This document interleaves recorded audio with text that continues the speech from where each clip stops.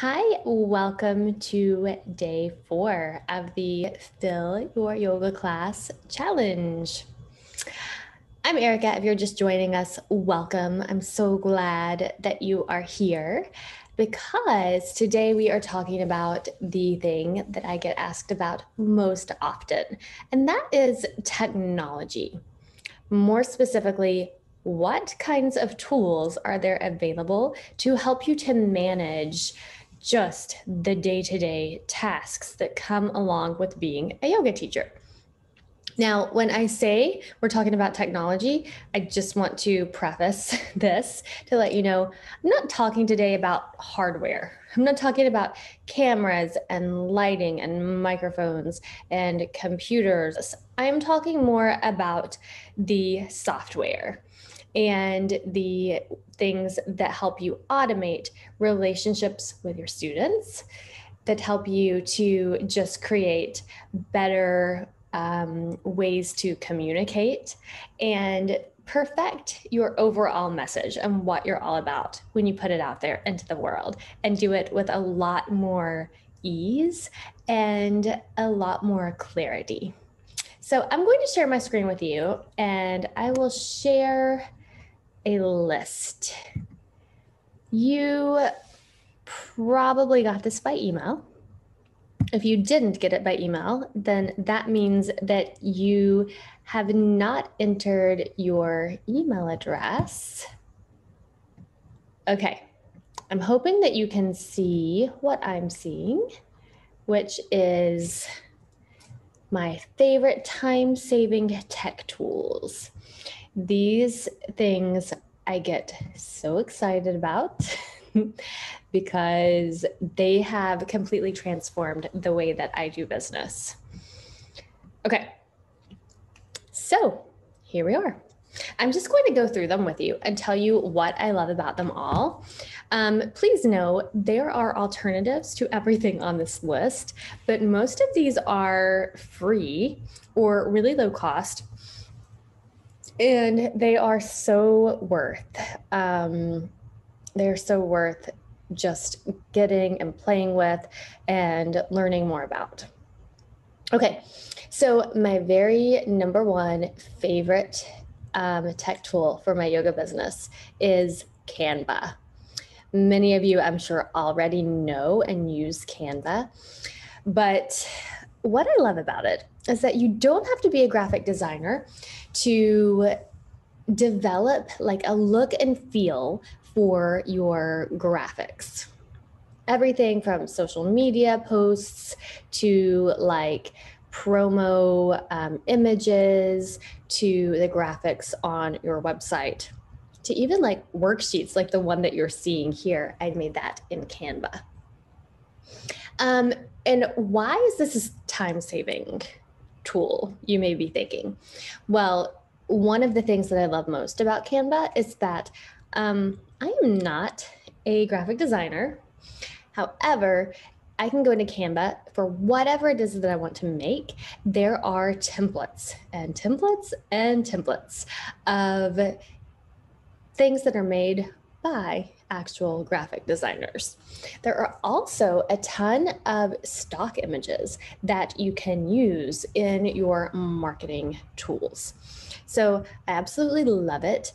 I can make everything look really good with my standard fonts and colors. And that way it's recognizable when someone sees it wherever I market my business.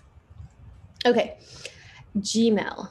You may not think of Gmail as a magical like tech tool, right? It's just your email. But I recently figured out a way to manage so much of my business through Gmail. And what I love about it is that, well, I'm going to actually show you this tomorrow. So make sure you come back and watch tomorrow. But you can actually batch emails to all of those people who we identified yesterday that we want to manage relationships with. You can write them, you can write follow ups and schedule them. You can Um, send people um, links to the Zoom class that they're supposed to attend, and you can schedule out so that they get that link before every class. Now, there are more automated ways to do this as well, and I will talk about that in just a moment.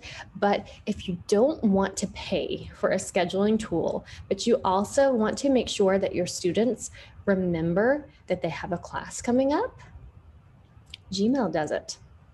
And the other thing that I just recently learned about Gmail is that they also have a tool that you can put the emails that are in your inbox into a to-do list. So like if you don't want to answer an email right then, but you want to sit down and answer all of your emails at once, batching your time, then email um, Gmail helps you to manage that. Again, I will show you exactly how to do that tomorrow. Okay, the next tool is MailChimp. So I've talked a lot in this challenge about why it is so important to manage your relationships with your yoga students. Another way to do this is a little less personal, and that's by sending regular email updates or email newsletters. I'm sure many of you already are doing this. I like MailChimp. There are lots and lots of other um, email service providers that are like MailChimp. They do the same thing. And I probably would advise uh, when you get a bigger list to switch over to something else. I've heard different things about like low open rates with MailChimp. There are some downfalls to it, but all in all, if you're just getting started with your email marketing and you just need a simple and low cost or free way to send out a monthly newsletter or a weekly newsletter if you are really industrious. MailChimp will do what you need it to do. I'm still using it, it works for me. Okay, Acuity. Oh my stars. I love Acuity so much. And Acuity is what has allowed me to shift my business from a um, in-person model to um, entirely online um, during the pandemic. So again, there are lots of different tools that do essentially the same thing. The reason that I love Acuity so much is because it is really simple. Once you know a few basic things, you can just set it and forget it, basically. You put up your class schedule, you embed it from Acuity into your website. It um, integrates with Facebook and um, Instagram it integrates with MailChimp. And um, the feature that I like the most is that it sends those email reminders for you. So you can set it to remind your students, people who registered and paid through your Acuity scheduler, can get an email 48, I mean, yeah, 48 hours in advance, 24 hours in advance, um, one hour in advance. That's when they would get the Zoom link from me. And then there's even an option to follow up. So, like if they love your class, they can then click on the link in the email and write a review. Um, to Google My Business or wherever you um, are asking people to leave reviews. This is amazing and it is such a time saver, and I love it. Okay, keywords everywhere is my next one. This one is for those of you who are, I'm looking at my typo. Gotta fix that. Okay, this is for those of you who are really um, using your website to help people find you through search engines. And actually, it doesn't even have to be your website because search engines, um, yes, there's Google, but there are also search engines on Pinterest and YouTube. So those platforms are also ones that you could use keywords everywhere to make sure that you are finding a keyword that people are actually searching for and that is not so competitive that you would never rank for it anyway. So keywords everywhere is a really awesome it's a Chrome extension and it gives you that information. and it gives you that information no matter where you're searching. So even if you are on YouTube. Okay, so I mentioned um, social media a little bit. So let's talk about Planoly. Planoly is my favorite tool for scheduling out Instagram posts and stories. You can also schedule carousels actually through Planoly. And it is an app. I log in on my computer and I write out all of my captions. It stores hashtags. So this is one of the things i love about it is that you can have different kinds of hashtags that it just saves and you click on it if it's like a pregnancy related um, photo for example or prenatal yoga which is what a lot of mine are. It will have a list of um, those already saved and you can just click on it click on it and move on so I love that. It is super helpful and it is free if you are, you know, posting less than 30 times a month, which most of us do. Okay. Tailwind is like my secret weapon when it comes to Pinterest. Tailwind also does Instagram, but I don't use it for that. Only use it for Pinterest. And that is because it helps me to pin at regular intervals to my content. And Pinterest is because I'm utilizing Tailwind and these SEO tactics um, that I've told you just a little bit about.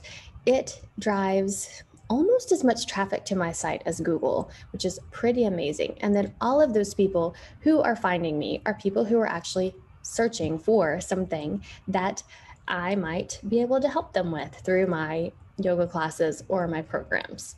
So I love Tailwind. It's not free, but for me, it is worth it. It may or may not be worth it to you. Okay, and then last of all is Trello and Asana. It pains me to say it that way because you know, it's Asana, but the software is Asana. These are both for project management. So you may be wondering, as we've been moving through this challenge, how on earth do you keep up with all of the people?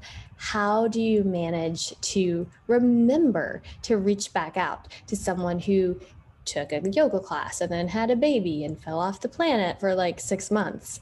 Um, this is how. I have systems within, um, I use Trello and Asana for different things, but I have systems built in that remind me to check in on my people. And they remind me in a way that makes sure that I'm checking in and not being annoying. So, those are my favorite time saving tech tools. I use them to automate so much of my business and they save me hours upon hours every week. All right, that's today's lesson. Make sure you come back tomorrow.